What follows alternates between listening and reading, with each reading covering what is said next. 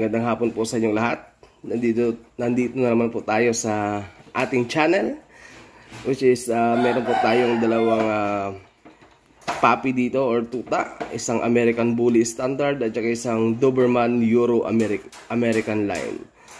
Actually, itong uh, aking uh, American Bully Standard is uh, 4 months na mga korban. At saka yung aking Doberman is 2 months. Actually, mas matangkad na yata si uh, Doberman.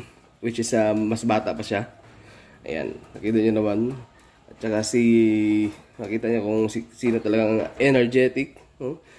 Energetic talaga si Doberman. Actually, energy hyper din ito si American Bully. Ayan lang, parang tinatamad lang.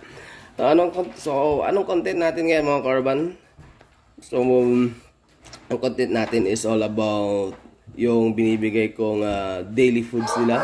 Everyday food na binibigay ko. Like, uh, kung ano yung binibigay kong vitamins at saka yung binibigay kong pagkain. Ayan.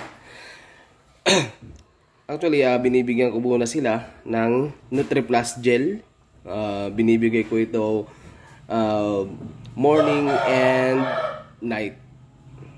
Or uh, before uh, meal nila ng morning at saka night. Okay, tara, bigyan na natin. Okay mga korban, ito yung ating uh, Nutriplus Gel na binibigay.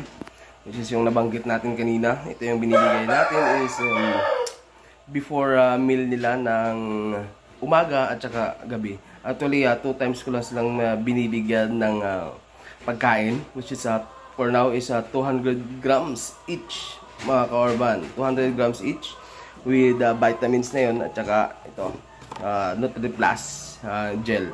Kung nagtatanong kayo uh, kung magkano ang uh, presyo nito dito sa aming uh, local uh, vet which is doon ko na bili ito is nakakahalaga siya ng 700 uh, pesos. Ayan. So ganyan lang siya kaliit. Okay mga kaorban, ayan, nagbibigyan natin ng NutriPlus gel which is a uh, 1 inch lang mga kaorban, ganyan lang oh. So binibigay natin ito is uh, twice a day uh, before meal ng uh, uh, umaga at saka gabi. Ayan. So, bibigyan natin. So, ipapa dila lang natin. Ayan, hindi naman. Oops. Oh, kinakain na. Ayan. So, ganun din sa ating uh, Doberman. Ayan, 1 inch lang din. Okay, ayan. Oops. Nakita nyo na, no? Sarap na sarap. Okay. Okay, okay mga Corban.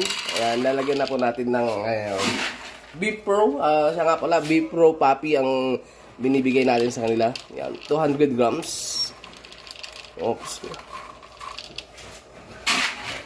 Mas maganda po sinusukat natin. Para sa akin lang po. Siyempre, para alam natin yung uh, daily needs nila. Kasi no, minsan, nakasobra yung bigay natin. Which is, uh, hindi nila naubos. Ayan. 200, 200 grams each mga korban.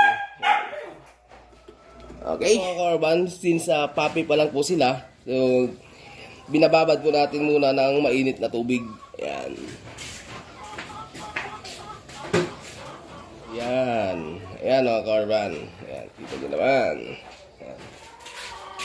Okay mga korban, para mas ma rami yung protein intake nila, binibigyan naman natin ng isang uh, tig-isa silang atay. Yan. Atay with heart. Yan mga karban. With puso. Yan. Okay. Yan. Ayan o. Oh. Oh. oh. karban. Ayan. Ito po yung binibigay natin. Yan. Nakal with C. Para ascorbic acid. So, binibigyan po sila natin ng uh, 1.5 ml each. Yan. Yan.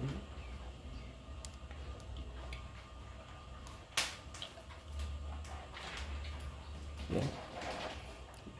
Halo lang po natin sa kanilang pagkain. Yun. Yun. Yan. Nakalbit si mga ka-orban. Ayan.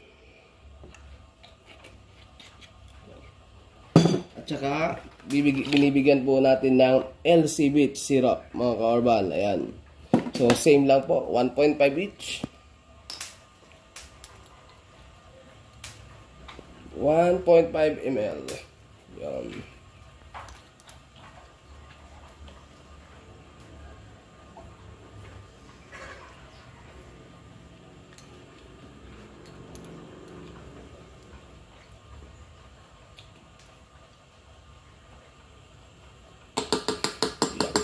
Yun.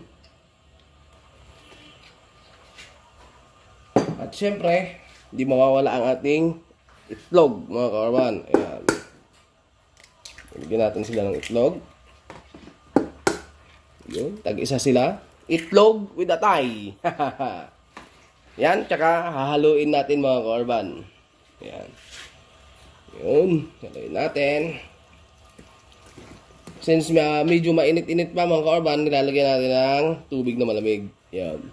Haluin natin yung atay. Oops. Yan. Okay. Haluin natin.